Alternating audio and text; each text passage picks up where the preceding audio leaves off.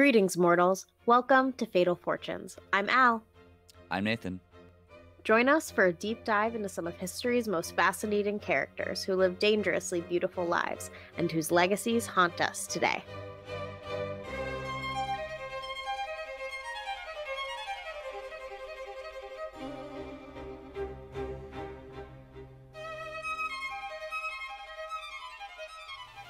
Hi, Nathan. Hello, Al. How are you? I'm nervous for th- this kombucha Oh shit! That I've You're brought- nervous. to the show. I don't know. Why would you be I was telling- nervous? Well, here's the thing. I've never tried this before. Oh, just listen to that. Yeah. Oh, I hope you don't spill it everywhere. Be careful. Is it gonna is it gonna fizz out? No, it's good. All right. This is the first ever sip.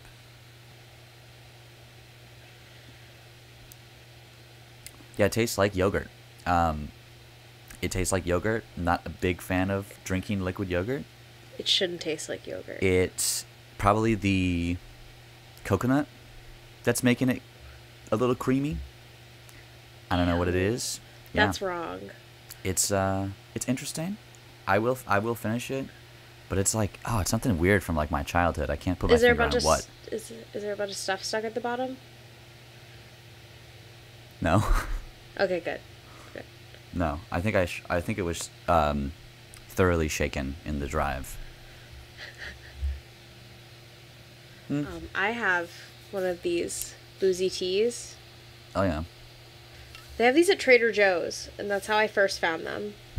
But, um, you know, when a brand gets good, so then they make like a two pack, or like the pack number two that deviates from the original. Oh yeah, sure. I stupidly saw this at the liquor store, grabbed it because I said, "Oh, great, my shit." It's not. It is not. Wrong. Um, Wrong shit. they weren't good, so I took them to a party, and then clearly no one took them because then I went to a party at that same house a month later, and they were still in the corner. Like no Sad. one had disturbed my booze, so I said, "Okay, I'm gonna just grab one and take it from the party. I'm just gonna just take." It's a wise mine decision. back. Yeah. And today I'm going to try it because this one is matcha pineapple chamomile, and I'm finally warmed up. I don't think it's that gross anymore. Oh my god, a day of first for both of us. Incredible. I hope you enjoy yours. You're not enjoying yours, is what I'm hearing? Um, yeah, I think I chose the wrong flavor. Okay, this is I. Okay. This is fine. I'm going to have to, I guess, get like a sampler set of kombucha. So you can do like shooters of all of them Sh- and then kombucha know what's up. Yeah. I don't. I just don't. Hey, did you did you see that Connor is listening now? Because uh, Connor left a lovely comment on one of our videos where we talked about his kombucha incident, and he's like, "Wow, this Connor guy seems like a character." Holy so shit. shout out Oh, to Connor. perfect. This kombucha's Oh for God, you. This kombucha's for Al. It's. Yeah. I'm not gonna fry my brain with three, and I'm yeah. Gonna choose a better flavor next time. Well, Nathan and I finally got to see each other in real life for like the first time since May on Friday. Mhm. And we went and we saw the new Princess Diana movie. And I think we've had enough time to digest it. So we're going to give it, you know, five minutes of our time Sure. This episode talking about it. Um, oh, this is riddled with spoilers, by the way. Don't think that th- this is just going to be covered in spoilers. I feel like I could watch it a second time now and maybe try and look past the Anne Boleyn nonsense Yeah. or like go dive into it or just like accept it or something because that for me was when it really jumped the shark Yeah, and like obviously, it is it is spoilerific what we're gonna be saying, but also it's like her real life, which is why some parts of the movie felt like okay, yeah, it's obviously dramatized, but yeah, that whole side plot of her going to her house and almost killing herself, but then Anne Boleyn's like, yeah, just rip your pearls instead. Um, and then it turns out that like that really awful head, like organizer dude was the one who left the book in her room for her to read. Like, ooh, the conspiracy of trying to make Princess Diana go insane while thinking about Anne Boleyn. It was a little far fetched. Yeah. for sure. Yeah. And I thought that I don't watch Kristen Stewart movies because I have taste. and Whoa, whoa, whoa! No, no, no. Never seen American Ultra? You've never seen Underwater? never even heard of those. Well, I haven't seen them either, but I've heard Oh, oh, that oh, okay. she's in them. Yeah. I've heard she's a bad actress. I've seen Twilight, obviously. And apparently that's not obvious anymore because I met someone who was born in ooh, 2002. So they were only six years old when Twilight came out. And they were mm-hmm. fully, you know, swabbing people at work. Like, I'm going to nursing school. Oh my god. I was like, holy shit. It's not obvious to see Twilight? Damn, that was in the curriculum for us. That was the curriculum. But I didn't realize that they were just going to give me a one dimensional Diana. I really just thought that we could have like a character that was more than just paranoid. Like, even with her kids, she's super paranoid. Yeah. And obviously, like, the rest of the family, makes sense for her to be paranoid, but. Yeah, I'm not a huge fan of, of biopics that only take up, like, a couple days of a person's life because it's really hit or miss whether you're choosing the right days. And, mm. like, maybe there were better days. And obviously, like, the other way to do it is, like, their whole life, which is also dangerous to cover that much. They also made like a really big deal about the wardrobe, and I was like, waste of time. Waste of dialogue, waste of time. What are we doing, guys? like we obviously know that there are really a lot of people who are sticklers for rules in the royal family and i'm sure yeah dress should be brought up as one of those things but it's kind of like we know that already we know that you have to dress a certain way because we've seen them for like hundreds of years dressing this certain way Too much bulimia. yeah, wasn't a fan of that. Obviously, that is a huge part of her life, um, but it is very hard to watch. That it was enough. Like, it, this is enough. Yeah, I did really like the music. I think I told you about like, I don't know if it was like a cover. I didn't look it up, unfortunately, what the soundtrack was, but I think the like the free jazz stuff where she's getting really paranoid. At least that fit like with the tone. I Yeah. thought. Just a little too artsy fartsy for me. it's really trying to get nominated for stuff, I think. And I Those can't. costume design people were like, let's go. please, yeah. It's my time. I did really like when Kristen Stewart was Anne. Even though it was ridiculous when she turned into Anne for a second, I was like. I was like, think about how much time. yeah, for like that, that one shot. shot. for her one so much Anne time. look. Oh silly. god. But yeah, and you know, I'm still gonna get a poster for my room um, of this movie. I don't. I. I'm just gonna. Yeah. It was visually nice. Hey, you know what? I wonder if my movie theater, if they're playing that movie, I could ask for a poster. Please do. Please do. No, so they totally to are. For it. They totally are because that was the whole reason we went to AMC because I didn't want to go to my old theater. Right. Yeah. Okay. Yes. All then right, how are I'll- you gonna I'll get this text poster? someone. I'd have Okay. I have connections. I've got connections. Okay. Okay. Yeah. I want to start talking about the other British people we were going to talk about today. the other British people we were going to talk about today. So, I've been really interested in this story for a little over a year now. It's about, you know, just white people in Africa. And I think I just really need to get it out of my system because you know when you have your show that like just puts you to sleep immediately like for a while it was the office for a while it was sex in the city now i can put this documentary on and just pass out snap pass out but we are going to talk about a murder in colonial Kenya, the murder of Lord Erroll. I bought this book, White Mischief, by James Fox. James Fox in the documentary is really cute, but if you look up a photo of him today, he's like 80. Ah. but, um, yeah, my local bookstore kept saying, Are you sure you want us to find this? Are you sure you want us to find this? And I was like, Yeah, I'm sure. Go get it. Because apparently there's another book called White Mischief that's about um, cocaine in Colombia. See, that's like when I first heard the title and I was like, "Oh, rich people." I was like, there has to be drug usage. And there is, there is, but it's yeah, it's not the kind of white I was expecting. It's just white people. Yeah, and I was like, bro, you know me enough by now to know that I'm getting the niche book on the aristocracy, okay? I, of course, wanted to have a light, fluffy evening with my fun things, with my fun, happy history place, and of course, it's just riddled with racism again, so can't have nothing nice. Can't just have a nice NPR freaking evening um, because there's so much racism, but here, here we are. You know, the one thing about this episode that kind of bummed me out is there are so many different characters. It's hard to like talk about the year that one of them was born in because there are a lot of characters. Yeah, yeah. But I like how left you out. have I like how you have the introduction as to like what's going on in the world. Context Yes. is is my favorite part of this show. Oh my god. So fun. But yes, so the beginnings of the Kenya colony and the White Highlands. So the British government they took over the Kenya colony in 1895 to compete with German expansion in East Africa. So they're in control of Tanganyika at the time. Pretty sure that's Tanzania today. The British quickly began to build a railway system. Remember, trains, trains, trains, trains, trains. That's what that whole time period was.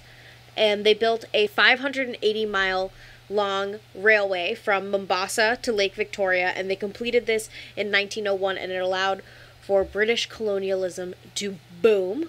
Nairobi was established in 1899 and as the last rail stop for the train before it climbed into the territory of the Kikuyu tribe. The first wave of settlers arrived in 1903, and they're from Britain, Canada, Australia, and South Africa. And I'm kind of confused because I thought that we just started sending criminals to Australia, so I didn't realize that they were allowed to leave. So many of these first new arrivals are, you know, casualties of primogeniture. They're second sons of British peers who stood to inherit nothing from their fathers, but were also, it was looked down upon in this time for people of elevated status to have jobs, but they also needed money to maintain this elevated status, so it's kind of this huge quandary that exists. Some of the Americans that were on the scene were Northrup McMillan, who was a close friend of U.S. President Teddy Roosevelt, who was himself even made a lord by King Edward VII. Northrup McMillan, that is, not Teddy Roosevelt. We'd know that. I think. I think history classes would have maybe included that. Um, the undoubted leader of the social set was Hugh. Oh my god. Someone taught me how to say this word. Kalamandali. Right? How'd you know how to do that so fast? Yeah. I don't know. It's like every other letter is a vowel. it just yeah. That is a really wild last name though. Yeah, Hugh say it one more time. Kalamandali. So, Mr. Hugh, he is the third Baron Delamere, and he first arrived in the Kenyan Highlands in 1897, so before there's even this beautiful railway. And the third Baron, he had a huge amount of wealth, and he had distinguished himself at Eton.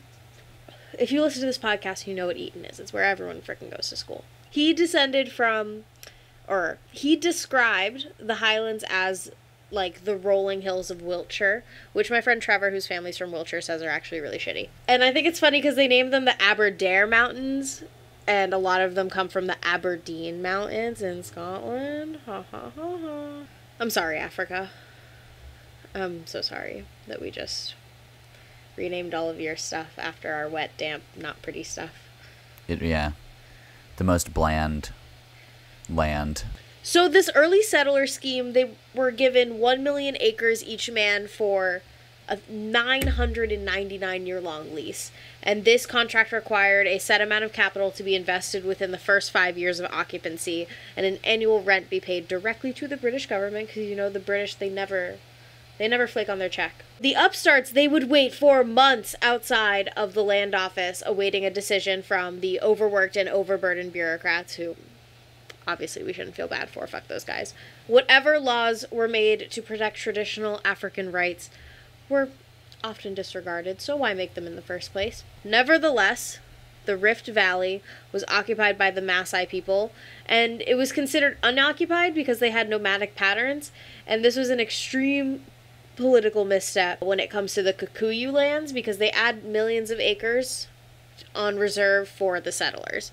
So the, these overworked bureaucrats are now also making crazy mistakes that are you know, going to have extreme repercussions down the line. Delamere had the smarts to actually develop relationships with the African population, and he fostered a mutual respect which did not carry over to the subsequent generations of settlers. And Delamere had the cash to continue funneling money into the colony in the face of chaos. Without him, the farms of his neighbors probably would have failed. Delamere, he had a farm himself spanning over 160,000 acres, over 1,000 miles, and he called this the Equator Ranch. And by 1906, he had fenced it all in, and by 1909, he had no money. He had drained all of the wealth from his family estates back in England, the farm was failing. He's messing up. And Delamere wielded such influence that when he went to the land office and they refused his application for a mill, he stacked firewood under the government building and threatened to set the whole thing on fire. Oh so it was it was really a Delamere world. What a crybaby. Such a crybaby. Just because he doesn't know how to do crop rotation. That's probably why Wiltshire's so ugly.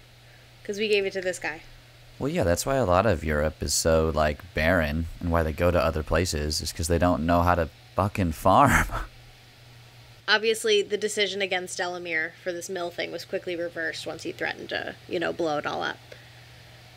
At breakfast, Delamere would hold court with all of the local Maasai chiefs, and they would play his only record, All Aboard for Margate, which is in the public domain, and we will play some right here.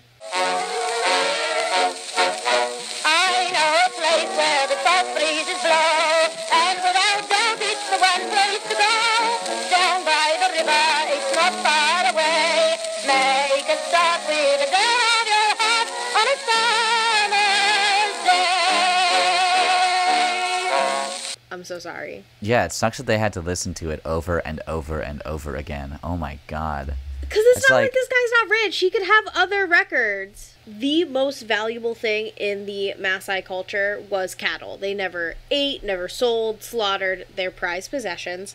And the chiefs that had been spending time with Delamere collectively had about 3 million cattle by the time Delamere goes bankrupt.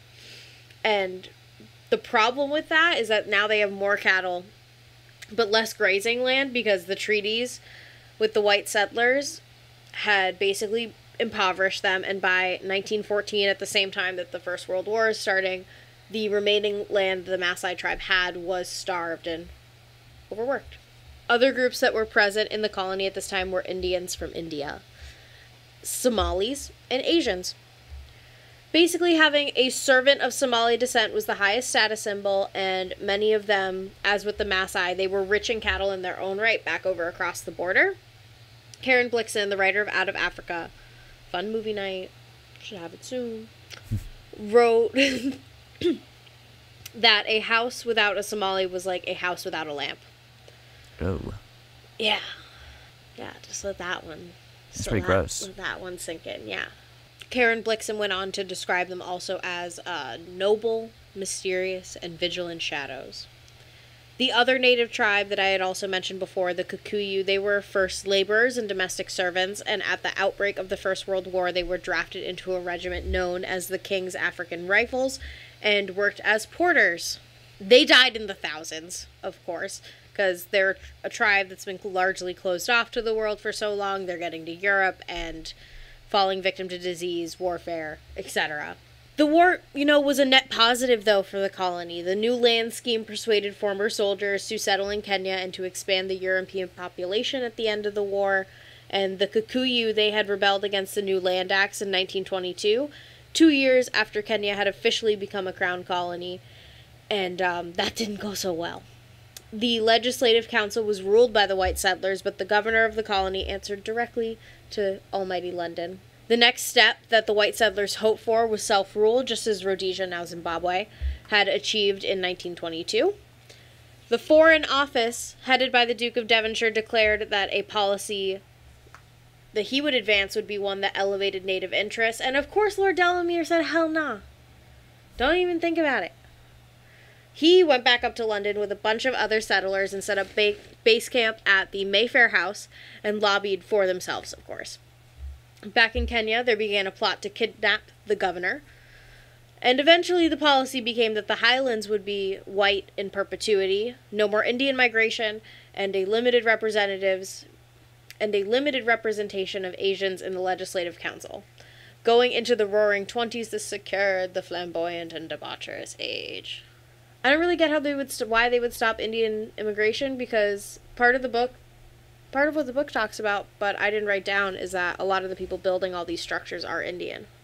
So Wow. why would you want less labor force? And the Somalis are rich enough that they can be like, "Fuck this! I'm going back to my cattle on the other side of the border." I mean, maybe because if there are enough people, then they could have representation. They could revolt. Oh. Honestly. You definitely want workers, but if you have enough people that are realizing that they're being taken advantage of, that might not be Wasn't good there for. like a spicy Indian revolt against like the East India Company? And there's like a fun movie about it. I'm sh- I'm sh- I'm sure. I don't know it offhand. I'm sure there were ringing any bells. A lot of revolts. But yeah, But I maybe mean, it's in the yeah. wake of that that they're like, no, no, no. So you know, Lord Delamere's party can't last forever. He died in 1931, and Lord Francis Scott, a second son of the Duke of Beauclerc, succeeded him as the leader of the social set. He had been the founder of Kenya's first polo club. I love polo. You want to know where I am on a Sunday? Catch me on the polo field. That's where I'm at. This new influx of settlers, they were veranda farmers, as in they sat on their asses and watched farming get done without lifting a finger. Jack Soames, an old Etonian. I feel like we need like a zinger sound for Eton at some point because It's- yeah. everyone went there. Yeah, it's gonna be mentioned like at least another time. yeah, like not even say the word Eton, just put like a boing. Yeah. that's that's what we're talking about. Eton, he's an old Etonian just like the rest of them. He arrived in Kenya in 1920 and he spent the decade wasted. He offered his guests pink gin every time of the day.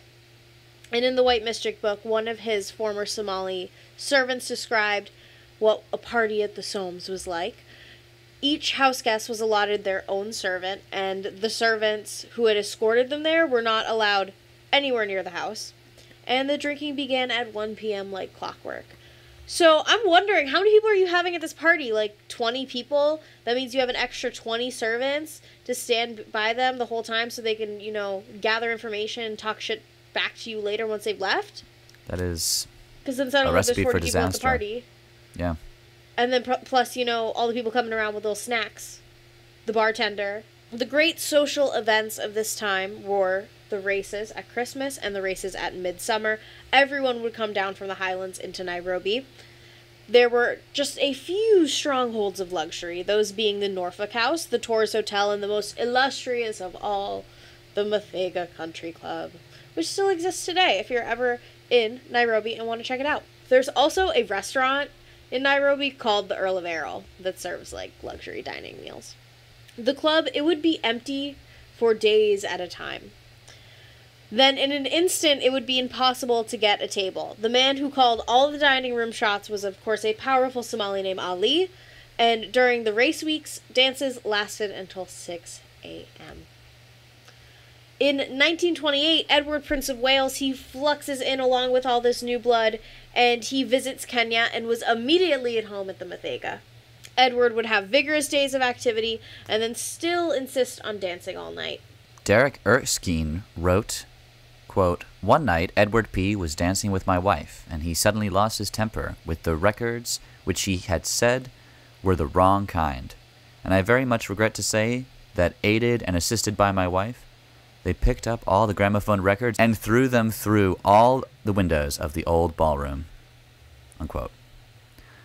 Damn, no wonder. Okay, so if this is a typical thing, no wonder that guy only had the one record because they're just throwing them out the window. It's the only one no one wanted to throw out. I guess so. They couldn't find it. But yeah, as you can see, you know, Edward Prince of Wales had a nice tendency for married women even then. So it just all tracks. It tracks that he would want a married woman 10 years down the line. I was just thinking maybe Princess Diana never would have died if Edward had continued to be king and never had to abdicate. If we had no Queen Elizabeth, maybe Princess Diana could have lived. They said Edward himself would go to bed at four in the morning and be awake at half past six and back at the race course. These people love horses. It was also further rumored that he had been offered snow right at the dinner table, which I bet was a test. His date on this trip to Kenya was a woman named Gladys Markham, who caused scandal at dinner when she rolled Edward out of his chair and onto the floor, and was, of course, a huge racist. So racist, in fact, that she got the Aga Khan banned from the Muthaiga Club. She went on to become the mayor of Nairobi and the last wife of Lord Delamere. And I just can't believe how they fail upwards. Like I can't believe that this Gladys woman gets like like makes a huge fool of herself, is a huge racist, gets like one of the biggest religious leaders in the world banned from the country club, and then becomes the mayor. Yeah.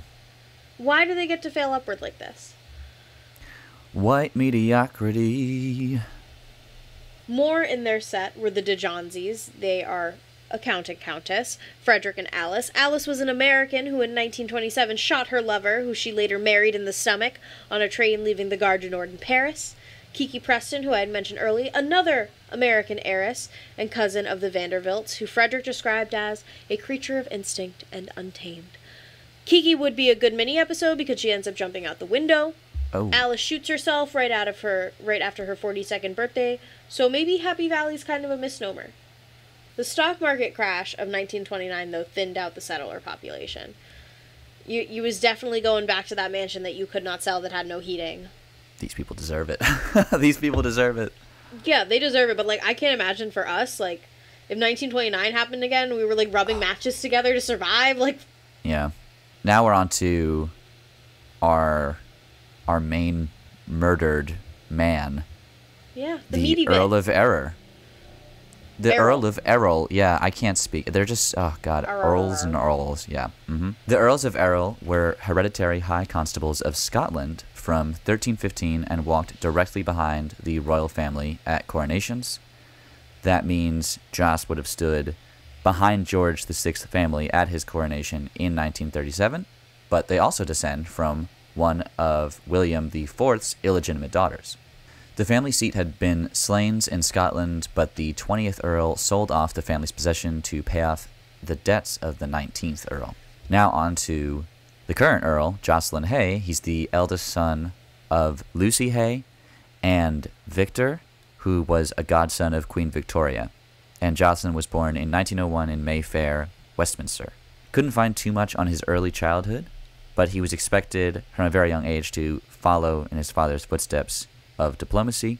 Really, the only thing in his early childhood was that he attended the prestigious Eton College, but was dismissed in 1918 for harassing a schoolmaid. What a piece of shit. I can only imagine how annoying a 17 year old Josslyn could be.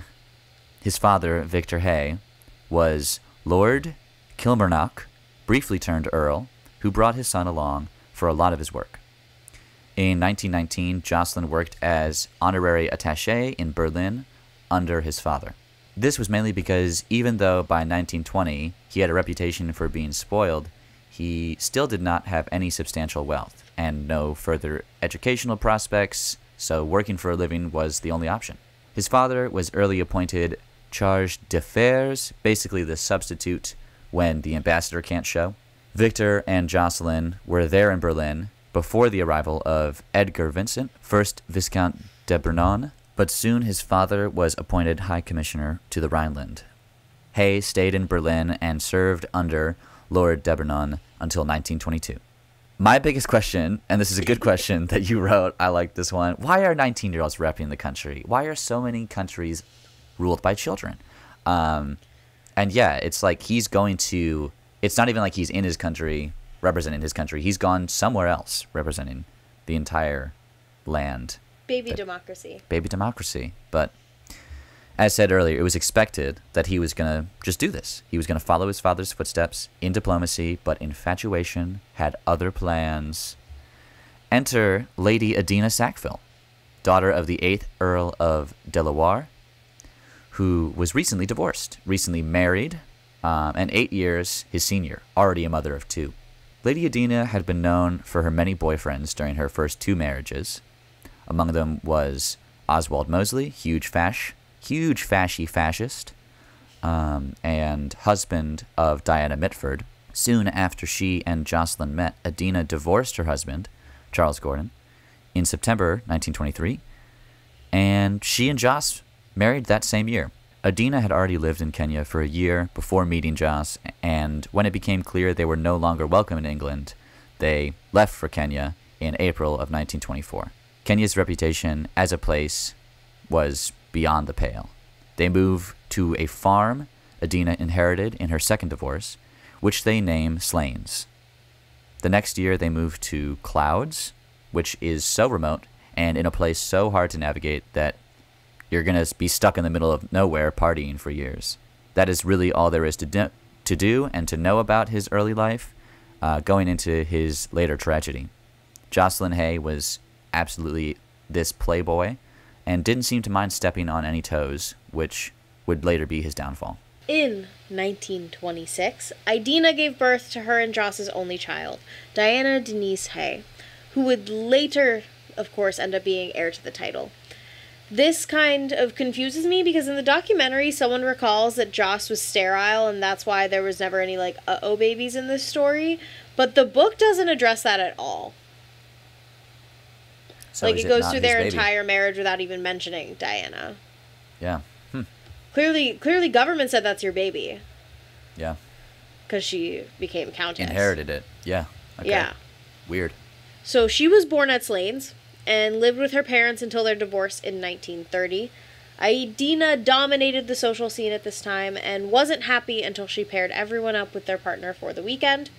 She would walk around barefoot to show off her size 3 feet and entertain in the bathtub. They were distinct rivals of Lord Francis Scott and his wife, who warned newcomers to stay away from them, lest be ostracized. And he'll come up later in the story. You know, we already mentioned that he was the guy who brought polo to the circuit. Mm. And while living at Slains, their closest neighbor were the de Janzés, who we mentioned earlier, and their friends, the de Traffords and the Prestons. And, you know, the drugs just kept on coming from there. We do know Joss's Don Juan days in Kenya were full of polo and races, but anecdotes about him are poorly remembered, buried in years lost to drugs and drink. The dramas that used to take place there, however, were unbelievable. Classy dinners quickly devolved into brawls, like one night dinner devolved into a duel between de Janzé and de Trafford. They're basically fighting over Alice the whole time, and I don't want to spoil too much in case we do a Minnesota on her. Yeah. Keep it a secret. Damn. People will just duel. In 1928, Joss's father died after he had become Earl for a second, and Joss, of course, became Earl of Erroll, but he and his countess had fallen out, and the bad debts had just become too much. Like, he had married Idina because she had all this money, and he's just wasting it away. Of course, the only job he's ever had is when he was 19 at the Foreign Office, so he's just spending dough. Earl had also conveniently fallen in love with Molly Ramsay-Hill, whose husband Cyril was a rancher who built himself a Moroccan style castle called the Djinn Palace. When Joss stole two of Cyril's Buicks and went off with Molly, the search spanned hundreds of miles and he finally found them in a tent. He ended up chasing Joss with a rhino whip. What In the divorce proceedings that followed, Cyril won 3,000 pounds from Joss to pay off the debts that they had run up in his name, and Molly was allowed to keep the Djinn Palace.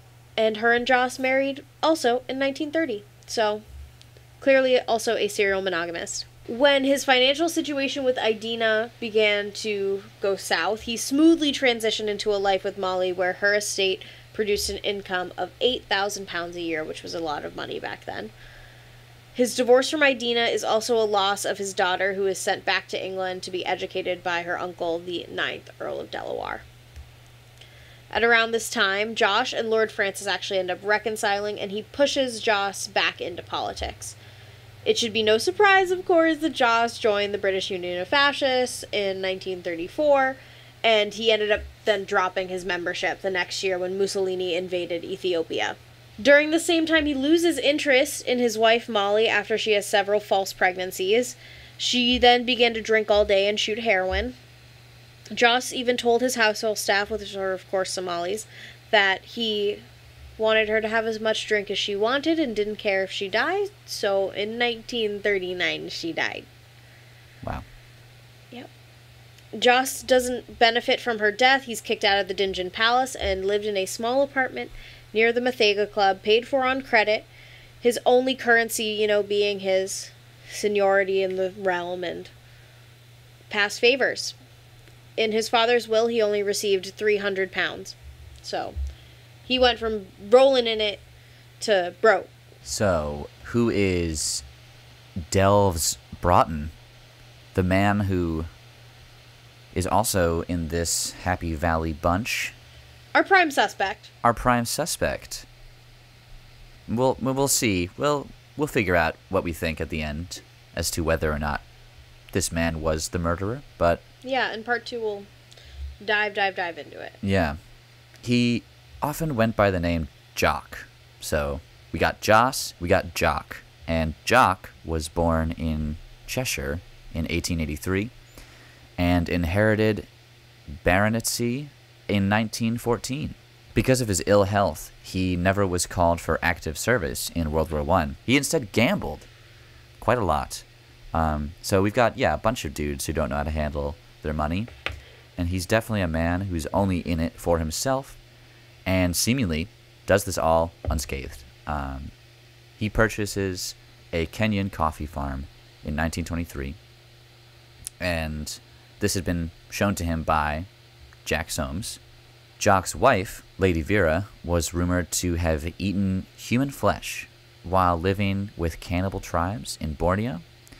Which the other day I saw this like cooking show where it was like guess the ingredient and it was like human flesh, um, like dolphin or or shark or something like, and it was human flesh. My god, where'd they And it's like- from? I mean, so the thing, so the thing that it made me think of was like, if you're willing, and I know there are a lot of a lot of people out there who like want to be eaten. Uh, yeah, if I you're willing, we could donate your body to Top Chef. yeah, why not? And like, it doesn't have to be the whole. You don't have to like sacrifice your whole body. You can just sacrifice like a limb. Um. Yeah, so why not? I don't. Aren't I don't they think saying that I would. the Capitol riots are a blood sacrifice? Or no, they're saying the Astroworld was a blood sacrifice. Oh my god. Yeah, that's just like so disheartening to see all the people who are like just not getting that it's not a you don't have to make it about anything religious. It's just a horrible tragedy. There's no happened. cult.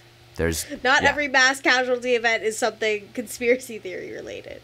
Yeah, it's just like a lot of bad decisions that ended up, you know, how it how it ended up.